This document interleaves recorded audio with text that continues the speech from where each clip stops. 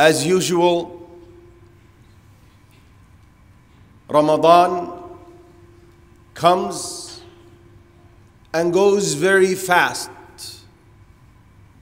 as if it never started. And from the mercy of Allah Azza wa Jal and His favor upon His slaves is that He facilitates during this blessed month for them to perform different acts of worship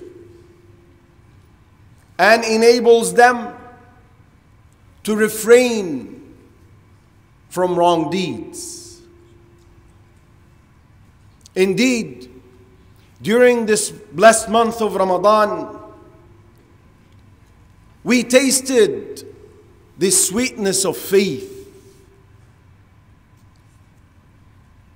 the sweetness of standing before Allah Azza wa Jal and weeping in humbleness and humility.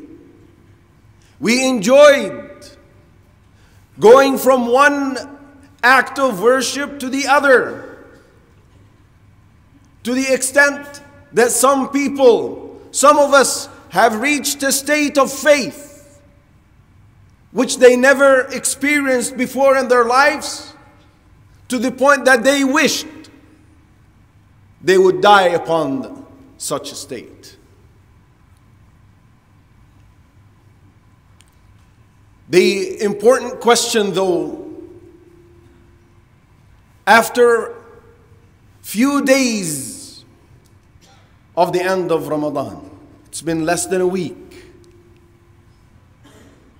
Have we achieved the objective of Ramadan, of fasting?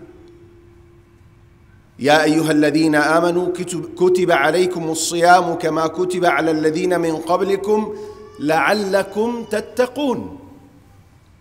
O you who have believed, Siyam, fasting, was made compulsory upon you, like it was made upon those who were before you, perhaps that you may achieve taqwa. So, have we achieved taqwa? And to answer this question, we must ask, answer the second question What is the state of my heart now? What is the state of my faith now? Only a few days after the departure of Ramadan.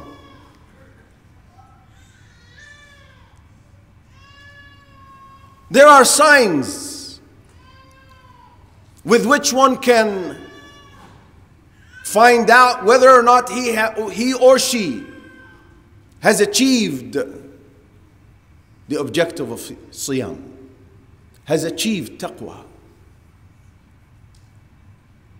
Amongst which is to continue upon acts of obedience and worship to Allah Azza wa Jal after Ramadan.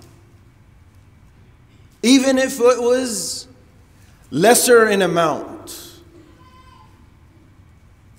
even if if it were few acts of worship that we used to do in Ramadan, to continue upon them the hadith of Aisha, which is reported by Al Bukhari and Muslim, she said that the Prophet ﷺ said, The dearest of acts of worship to Allah are those that are continuous, even if they were few. And Allah Azza wa Jal, from His mercy, legislated for us similar acts of worship that we did in Ramadan to be performed throughout the year, though lesser in amount, such as fasting. The hadith of Abu Hurairah, which is reported by Al Bukhari and Muslim. He said, My best friend, sallallahu alayhi wasallam, and in another narration, Abu Al Qasim, instructed me not to leave three things fasting three days of every month, praying the duha prayer and to perform or pray the witr prayer before I sleep, lest he does not wake up before Fajr to pray it, so to be on the safe side. So, fasting three days of every month is reducing Ramadan but maintaining the same act of worship, which is fasting. Having said that, it is very recommended, highly recommended, for us to fast six days of this month, Shawwal, after the conclusion of Ramadan. The Prophet ﷺ said, Whoever fasts Ramadan and then adds six days of Shawwal, now, of course, after the day of Eid, because it's not allowed, it is as if he had fasted the entire year. Why so? Well, each deed is counted as 10 in reward. So 30 days is 300 and 6 days is 60. So that's 306. So it's as if he had fasted the entire year. So that's fasting. Taraweeh and tahajjud and qiyam al-layl.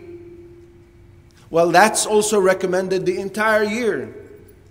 Yes, we used to pray, some masajid used to pray an hour in qiyam al-layl. Others prayed two, others prayed three and four. Well, we're not going to ask for this. But let's maintain some of this because the Prophet ﷺ said, and this is reported by Muslim, the best prayer after the mandatory prayer, after the five daily prayers, is Qiyamul Layl. So a believer, the believer is requested, is rather commanded to worship Allah Azza wa Jal until the last moment of his life. Allah Azza wa Jal instructed Muhammad sallallahu alayhi wasallam, وَاعْبُدْ رَبَّكَ حَتَّى يَأْتِيَكَ الْيَقِينَ So worship your Lord until death comes to you. Al-Hasan al-Basri, rahmatullah alayhi said, he said Allah Azza wa Jal set death to be the time at which one can stop performing acts of worship. So this is sign number one of achieving piety, to check if we've achieved piety. Sign number two, to make sure that we do not turn back on our heels.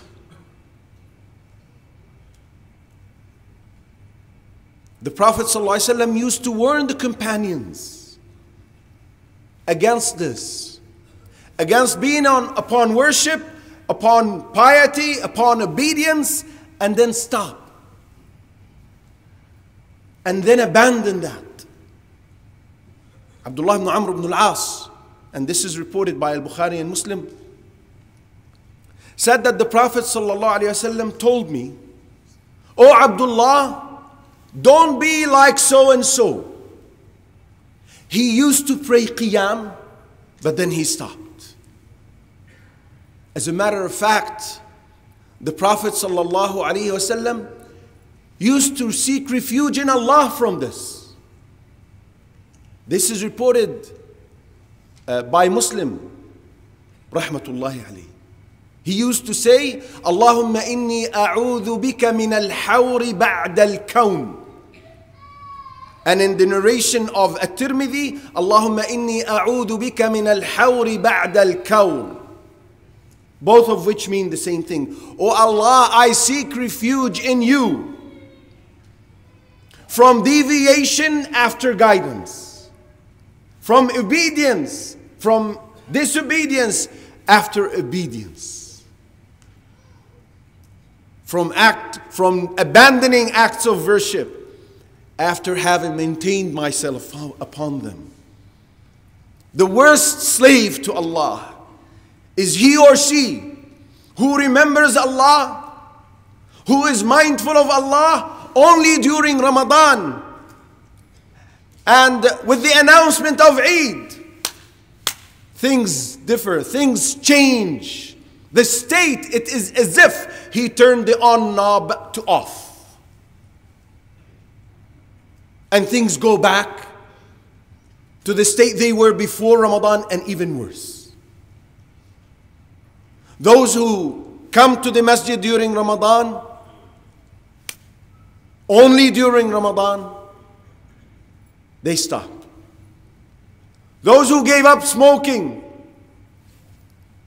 they resume. Sisters who refrained from adorning themselves whilst outside in front of men go back to abandoning hijab. It is as if Allah Azza wa Jal only exists in Ramadan.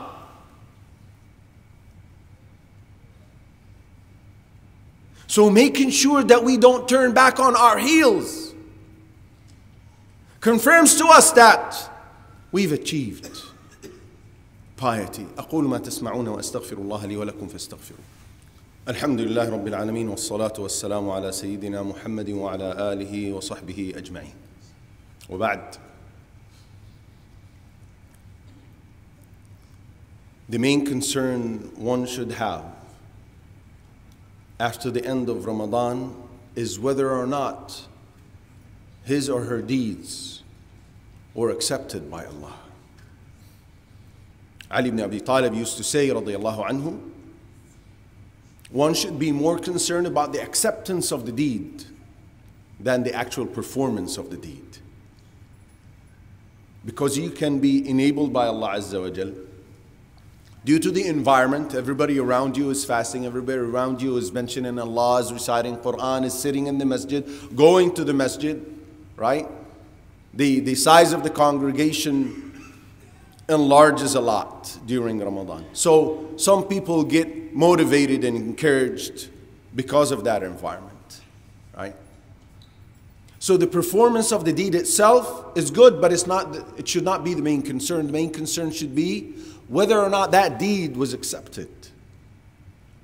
And then he said, the companions of the Prophet ﷺ used to supplicate Allah six months to make them live long enough to reach Ramadan.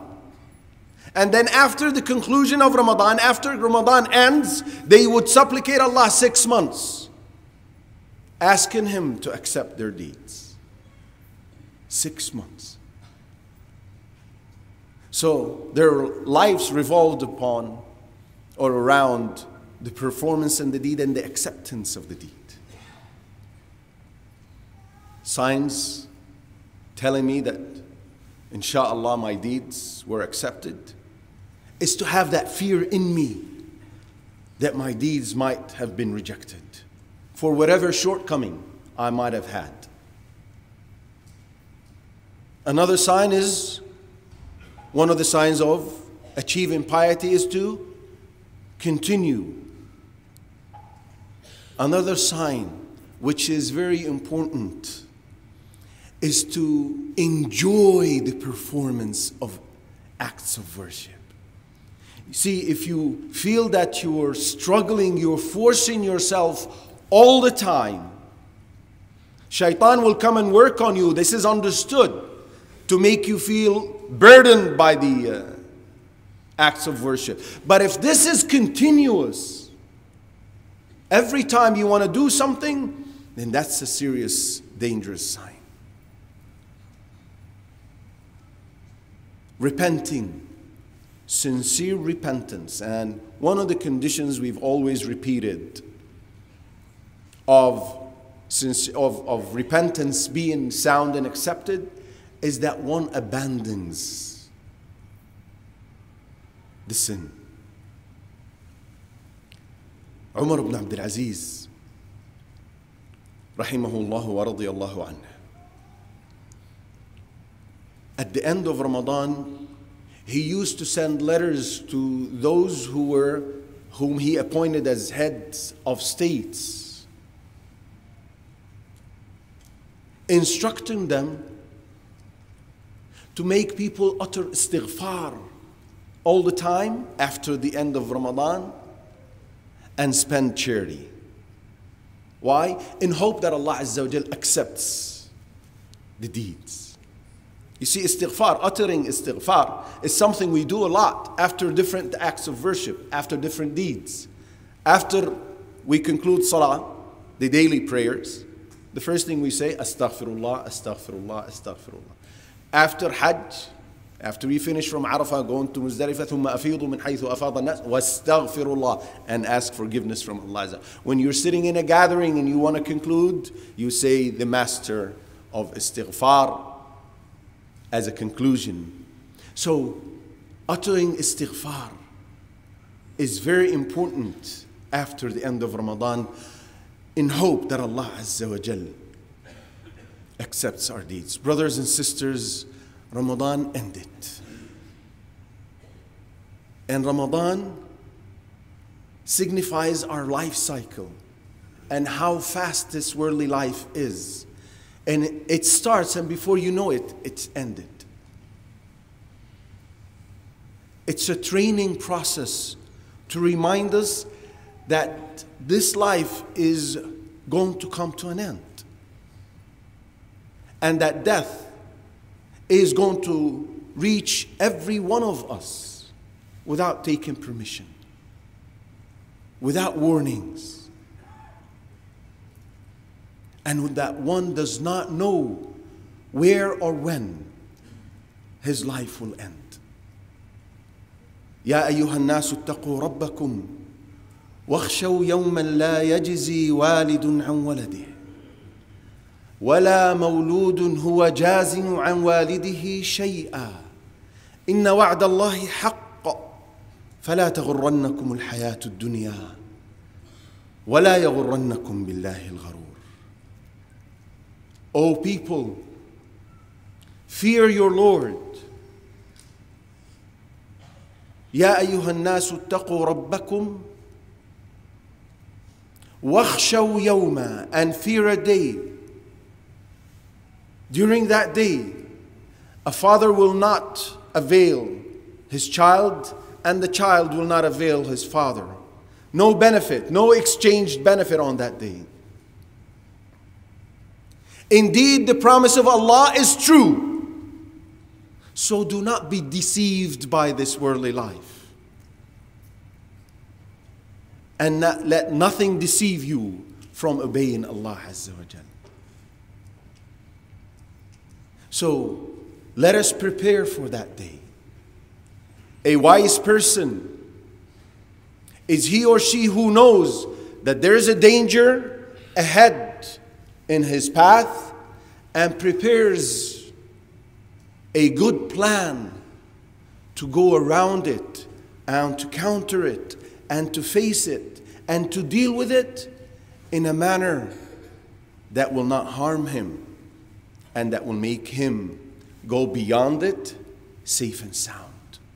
Well, this danger that is ahead of every one of us that comes after death is whether or not we're going to go to Jannah, whether or not we'll be admitted to Jannah. We don't know if we're deserving of the wrath of Allah and the punishment of Allah. So we need to work and we need to work hard and we need to continuously and continuously and perpetually obey Allah. I ask Allah Azza wa Jal to enable us all to please Allah Azza wa Jal and to maintain the spirit of Ramadan throughout the remaining part of the year and the remaining part of our lives. Allahumma ameen. اللهم أنا نسالك القبول اللهم أنا نسالك ان تجعلنا ممن اعتقتهم في رمضان